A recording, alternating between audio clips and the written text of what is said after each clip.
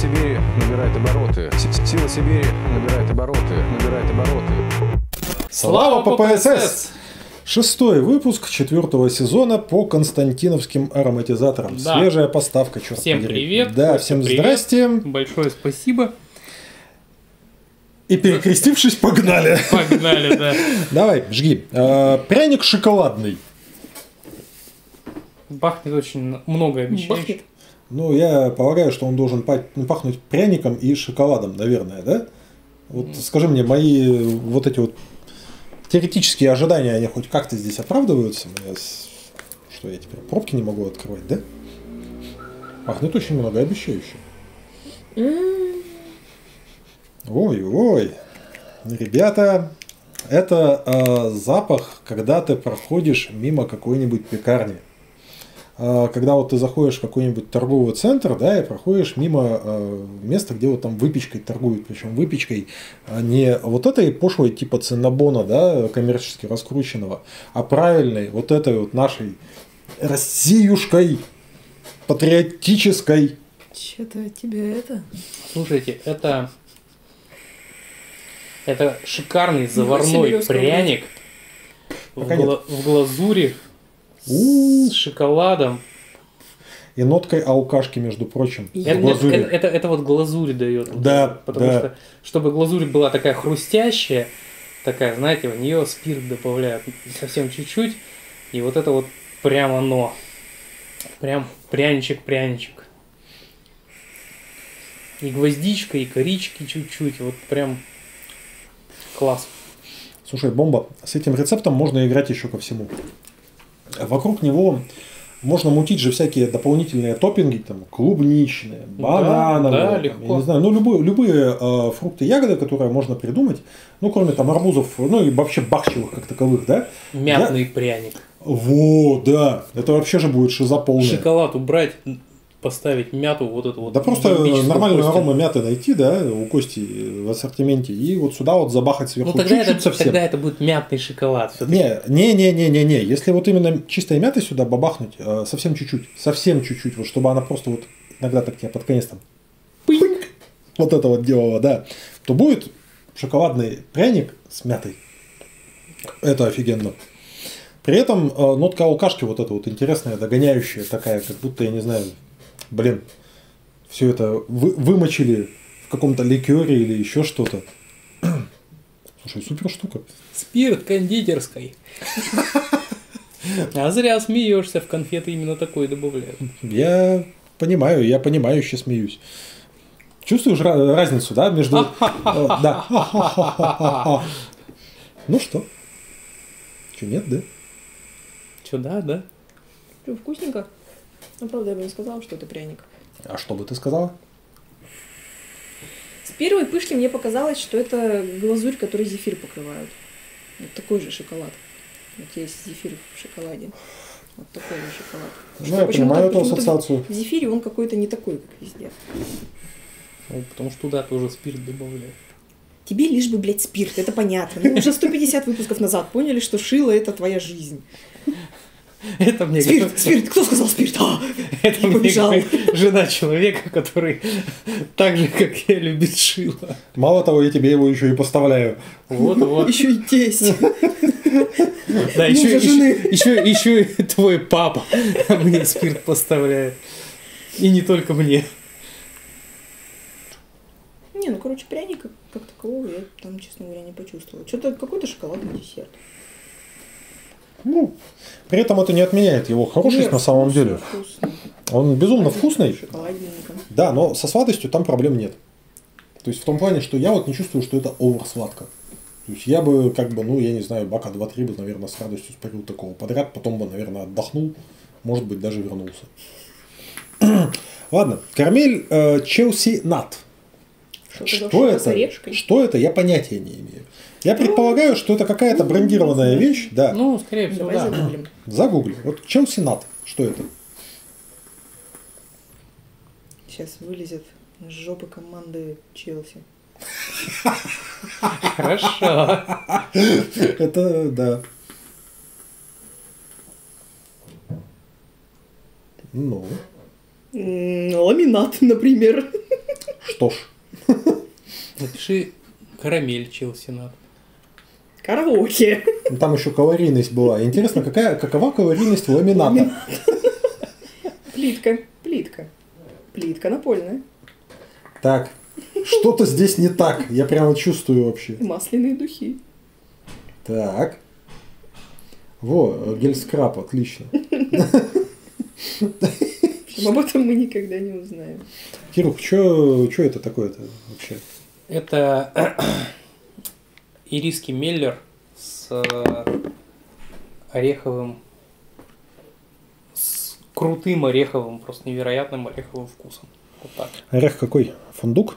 Ну да, хазлнат. Ну да, действительно, что я спрашиваю это? Глупости, извините, пожалуйста.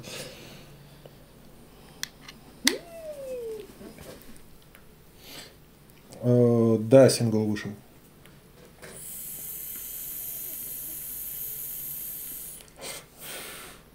Я полностью поддерживаю предыдущего оратора, причем э, фундук здесь такой же, как в Беллис Хазелнат, собственно.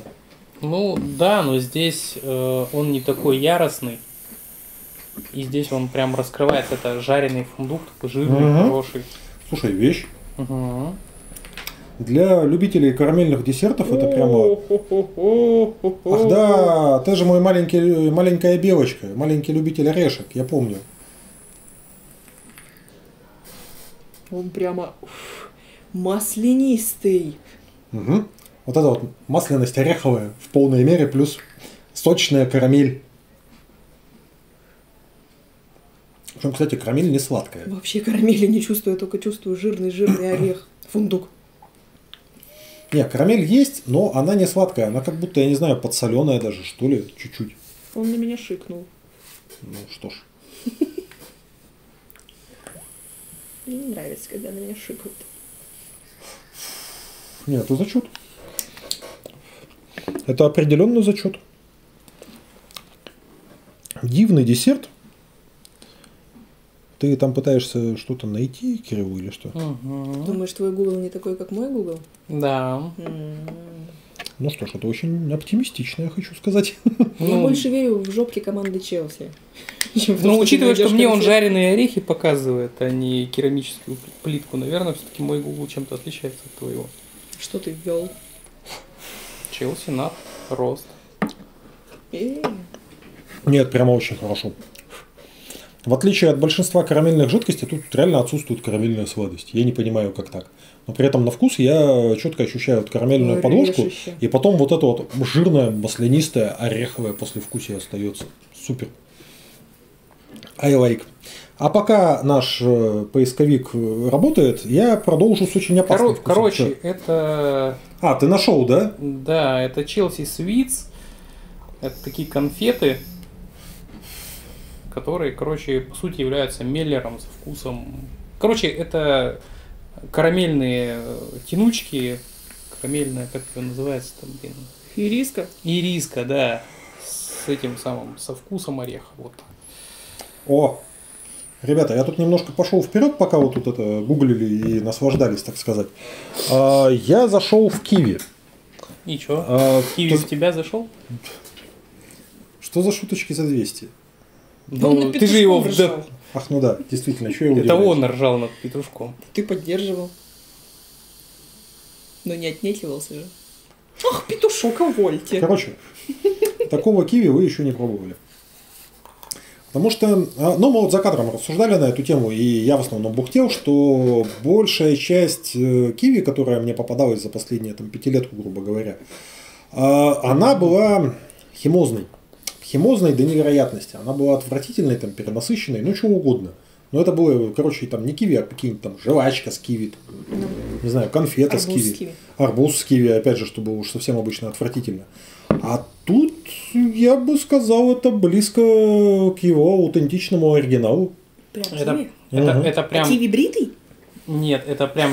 Нет, не бритый. Это именно классическая волосатая. Киви, у него мягкие, шелковистые? Это, знаете, это.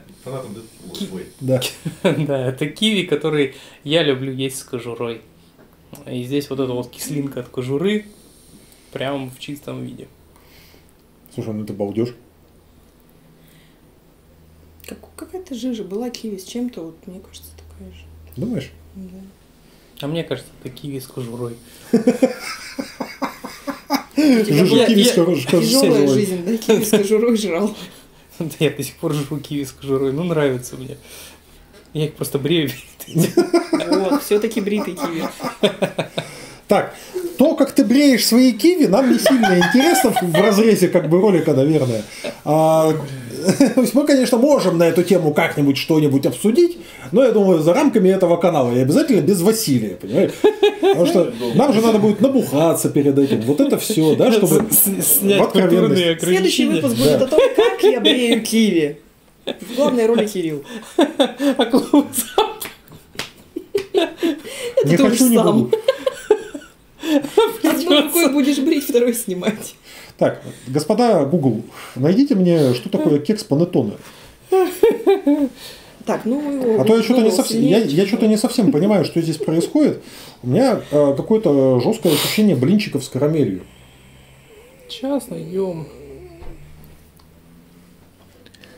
Панеттоне. Пахнет... Фу. Не умею курить. Ощущение, что там еще какая-то медовая подложка посреди всего Ну, этого вот, есть. наверное, поэтому мне и фу, потому что не люблю мед. Панеттоне. Типичный миланский десерт, связанный с кулинарными традициями Рождества и распространенный по всей Италии, сука, а корица. также по всей Аргентине и Бразилии. Корица, А, точно. Имеет куполообразную форму, составляет около 30 сантиметров в высоту. Панеттоне изготавливается из мягкого, не полностью пропеченного теста с с засахаренными фруктами и изюмом, подается порезанным на кусочки. Панеттоне подаются горячие напитки, например, кофе или горячий шоколад, либо сладкое итальянское вино, спуманте или маската. Э, Ну, короче, это итальянский рождественский кулич. Ладно, я вижу. Вот я не могу понять, что это за вкус. Вот тоже, да, не можешь То ли въехать. специя какая-то. то Да, ли- это специя, но я тоже вот не могу до конца Наверное, въехать какая. Ага. Что там может быть еще, господи? Что Глен- Гвоздика. Вот, вот Может куда-то быть, вот в ту гвоздика, сторону, больше на гвоздику похоже. Похоже, но это не гвоздика. Не, это... Может, это забав- итальянская гвоздика? Ах, ну да. У нас такой нет. О, гвоздика, панеттоне! Бониссимо. Это прикольно. Это не стандартный десерт абсолютно. Вот такого десерта вы опять-таки никогда не пробовали, я уверен.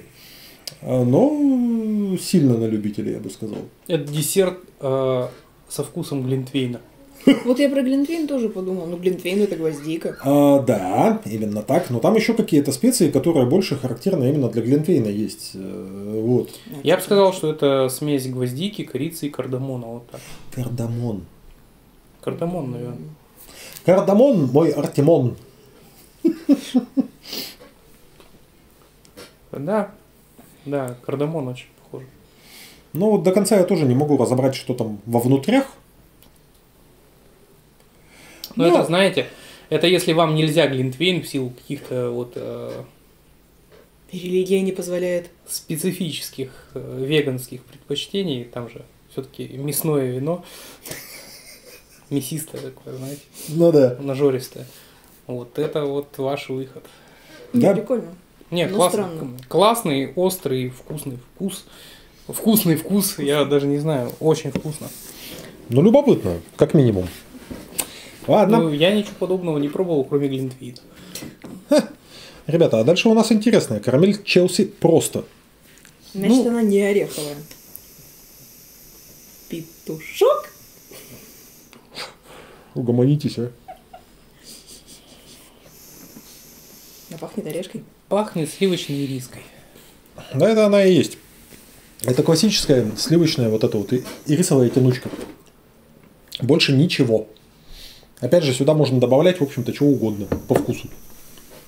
И оно здесь будет нормально висеть. Вот я не помню, мне как-то раз тоже привозили. Вот не помню, Челси это был, были или не Челси, уже не вспомню. Ну тоже какой-то круглой банке пластмассовой э, ириски э, карамельные. с, э, там не соврать, э, крупинки соли морской были, наверное, по 3-4 миллиметра грань у них была, такие прям. Ее берешь, она сама достаточно мягкая, а вот эта соль, она твердая, ее хрен разгрызешь. И было прикольно. Сплёвывал. Нет, было прикольное сочетание такое, знаешь, грыз. Я всегда грызу. Ну, знаешь, это хрум-хрум еще есть.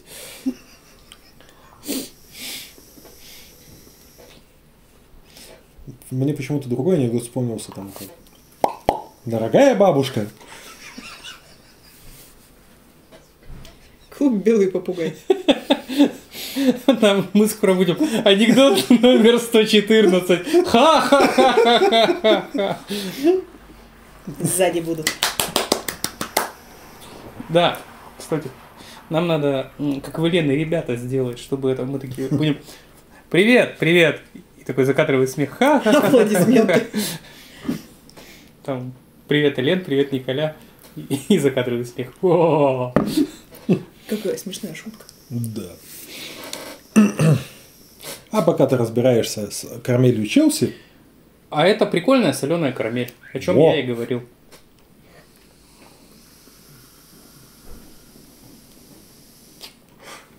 я зашел еще на одну опасную территорию. Вообще отлично. Грушевый сок. Ну, хоть не елочный. Джин. Не, елочный сок это песня группы Би-2. Ты сейчас все поймешь. Ты все поймешь, ты все поймешь. Это настолько аутентичный вкус, насколько вот он может быть выражен в двух словах. Это офигительный грушевый сок, а минимум сладости, максимум а, вот этого гру- грушевого вкуса. А груша какая? Дичка? Дюшес? Нет, нет, нет, это не, не дичка и не дюшес, это что-то из более таких это монотонных сортов. Пахнет фруктовым ароматом. Да, да, вот он такой есть. Слушай, балдеж. В принципе, где-то вот подобный какой-то грушевый сок мы и находили, собственно говоря.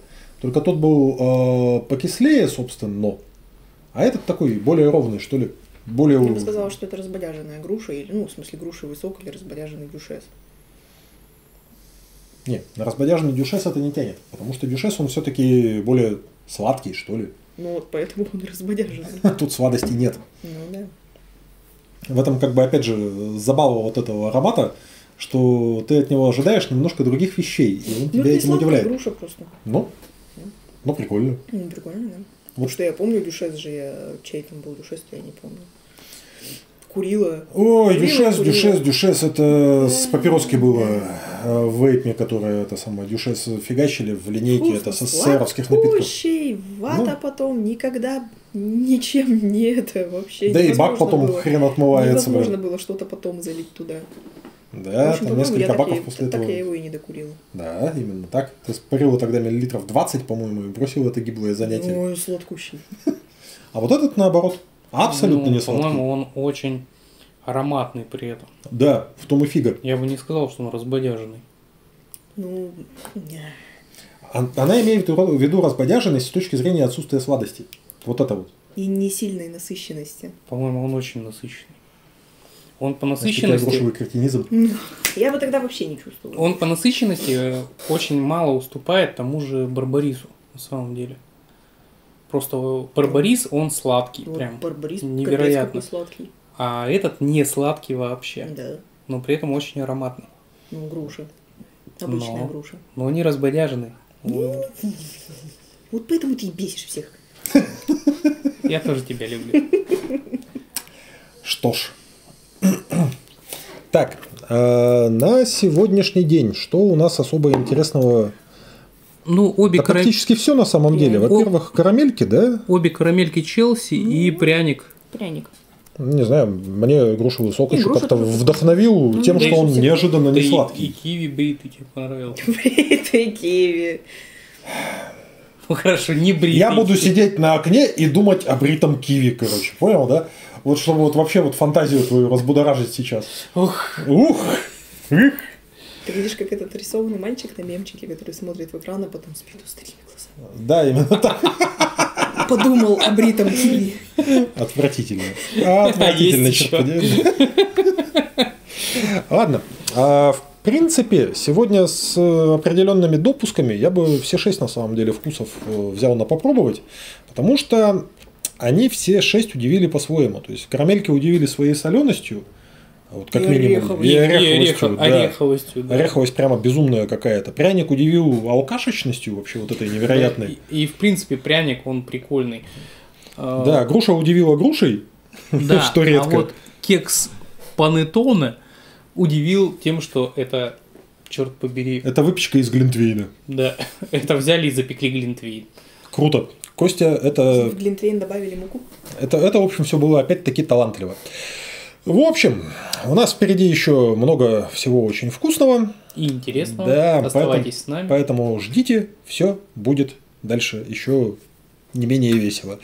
Да, Костя, спасибо. Вам спасибо, что вытерпели и так долго нас посмотрели. Всем счастливо. Всем пока. Пока-пока.